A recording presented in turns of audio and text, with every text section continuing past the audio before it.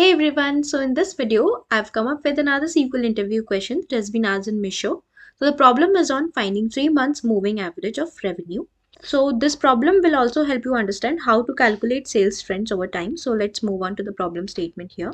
So assume that you have been given two tables. One is the customers table and the other one is the orders table. So for the customers table, you can see there are three columns. The customer ID, which is the unique identifier for each customer. Name is the name of the customer and join date is when the, when the customer got joined. Now for the orders table, you can see there are four columns. Order ID is again the unique identifier for each order.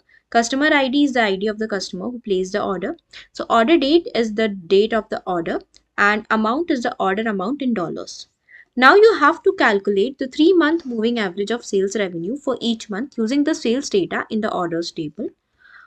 Also, the moving average should start calculating once three months of data are available, providing insight into average sales trends over time. So let's take a look at the input table and the output table over here. So these are your input tables, the customers table and the orders table. And this is how your output table should look like. It has three columns, month, monthly sales and the moving average sales of the three months. Now let's understand how this output table just got derived from these input tables.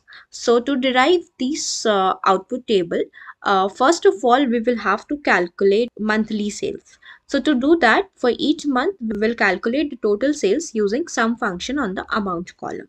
So for the monthly sales calculation for each month, we are just making use of sum function on the amount column to calculate the total sales. So if you see for the January month, so for the January month here, for the order date, if you see there is one column for the January month, two columns for the February month, one column for the March, then one for the April, one for the May and another one for, for the June. So let's just calculate the total sales amount for each month. So for the January month, it the total sales amount is 100. For the February month, the total sales amount is going to be 150 plus 200, that is 350. For the March month, it is going to be 300 as it is since we have only one row for this. And similarly for the April, May and June. So the monthly sales calculation will something look like this it, it should have month. So this is the january month having monthly sales 100 for the february month it has 350 for march it has 300 for april it is going to be 250 for uh, may it is going to be 400 and for june it is going to be 350 because we don't have more rows to calculate uh, the sum. So that is going to be the sum uh, the total sum for that particular month. So once we have just calculated our uh, monthly sales. So let's move on to calculate the three months of moving average. So to calculate the three months of moving average of sales revenue, we need to consider the current month revenue and the revenue of the two preceding months. So the three month moving average for a given month will be calculated as follows. So revenue of current month plus revenue of previous month and plus the revenue of the month before previous month divided by 3 since we want to compute the average. So let's just calculate starting from March. Since we have been given that the moving average should start calculating once three months of data are available and here uh, the three months of data is available uh, starting from March. So for the March of 2023, moving average sales will be calculated as the average of January, February and March will which will come out to be 100 plus 350 plus 300 divided by 3 and it will be around 250. Now for the month of uh, April, it, it is going to be it is going to be the average of uh, revenue of uh, February month, March month and April month and uh, it will be 350, 350 plus 300 plus 250 divided by 3 that will come out to be 300. Now for the month of May, uh, for the month of May, it, it, it is going to be the average of March, April and, and May. So it will be 300 plus 250 plus 400 divided by 3. So this is how it is going to be for uh, that that will be 316.67 and for the month of June it is going to be the average of April, May and June which is 250 plus 400 plus 350 divided by 3 that is 333.33. So I hope you are clear with the output like how the output is, has just got derived. So let's move on to writing the SQL query to get this expected output. So what would be our approach? Let's discuss that. So here is how we are just going to approach our solution using SQL. So our step one would be to calculate the monthly sales as we just did. So first of all, we will just write a CT to calculate the monthly sales. We will be uh, using date format on the order date column. So it will just extract just the year and the month from the order date. And then we will just group by this uh, month column uh, and we will just use the sum of amount to get the total sales per month. In our second step, we will be just calculating the three month moving average using window function. So here this average is computed by taking the current month sales along with the along with the sales of the two pre previous months. So we will be using average function with the window function uh, to achieve this. And in in in my last step uh, i will be just sorting my results uh, by order by month. So it will just uh, give my results in the chronological order. So that will ease uh, in my analysis so let's move on to the implementation part over here. So guys as we discussed here are my input tables the customers table and the orders table. So this is my customers table and this is my orders table. And since I need to calculate the three months of moving average so as we discussed our first step is going to be to calculate the monthly sales. And to do that we will be writing a CT so let's create a CT to calculate the monthly sales totals so I'm just performing. So I'm just giving the CT name as the monthly sales as. And here I'm just going to write my query. So whatever the columns that I want to retrieve I'll just retrieve it out afterwards. So this I'm going to take from my orders table. So as I said here we will be using date format function on the order date column to extract just the year and month from the order date because we don't uh, need the exact date. We are only dealing with the month and the year. So to do that let's just make use of date format. So date format on order date column order date column and I just want to format it as year dash month. I just want year and month. So this will just give me month.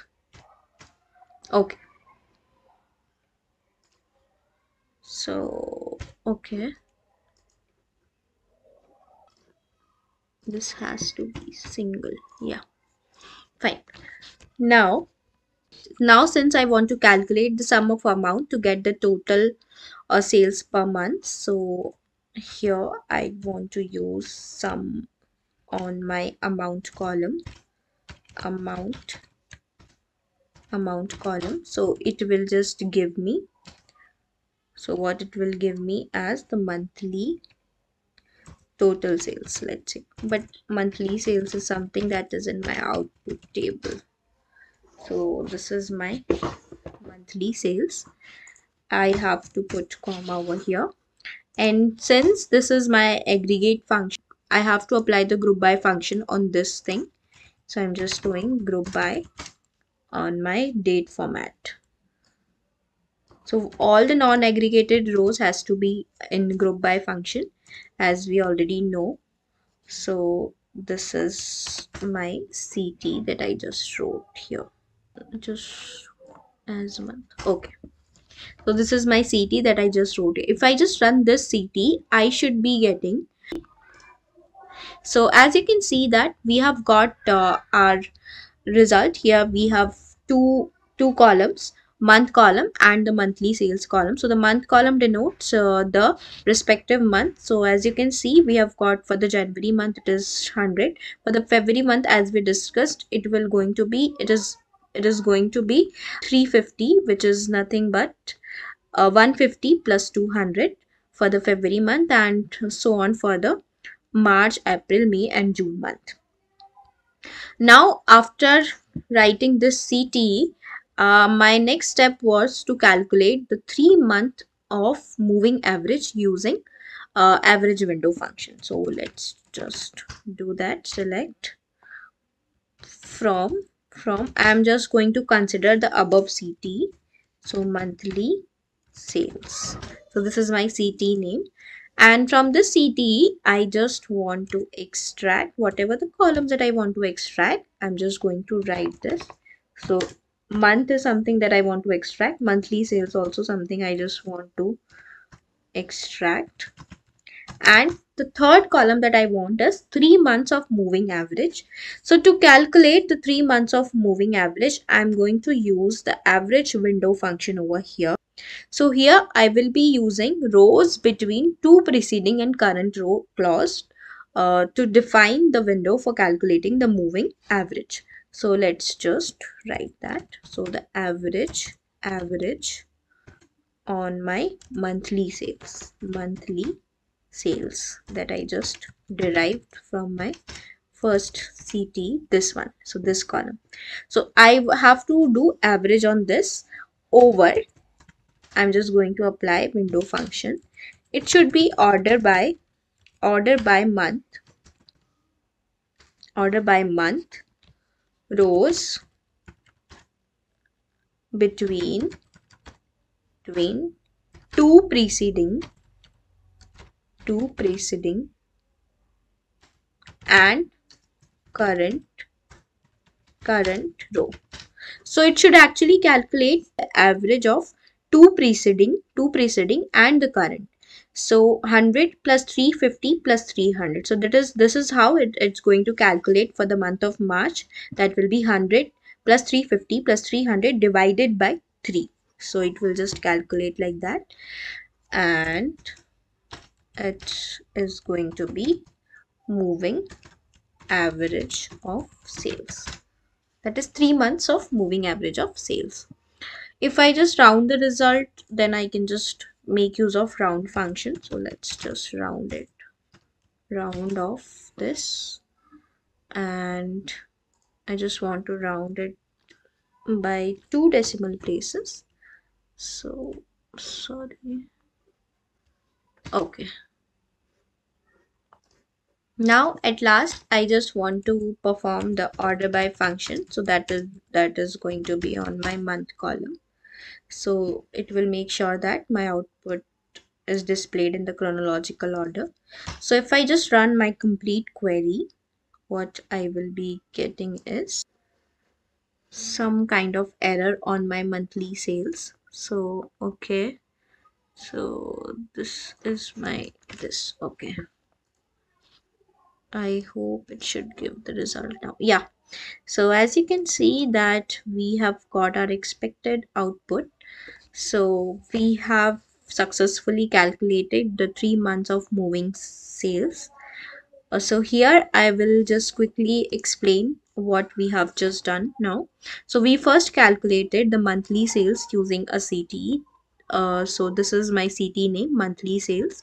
And to do that i just made in the in that in this ct i just applied date format function. So this will just extract uh, the order date uh, uh, in this format year and the month. And uh, i just applied the sum function on my monthly sales to get the total amount of uh, the sales for that common for that uh, for that particular month and year combination now uh, now later on i just applied a window function to calculate the ro rolling three month moving average giving us a clearer view of monthly sales trends. So here i just applied this. So a window function over order by month. It should be ordered by month. It should not be like uh, in different different orders. Definitely uh, we will be applying order by month rows between uh, two preceding and current row current row. So here using uh using this uh, it just calculates uh, calculate the average of current month and the two preceding months.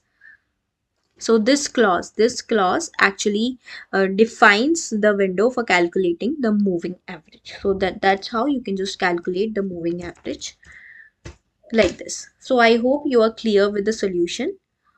Let's uh, meet in the next video. Thank you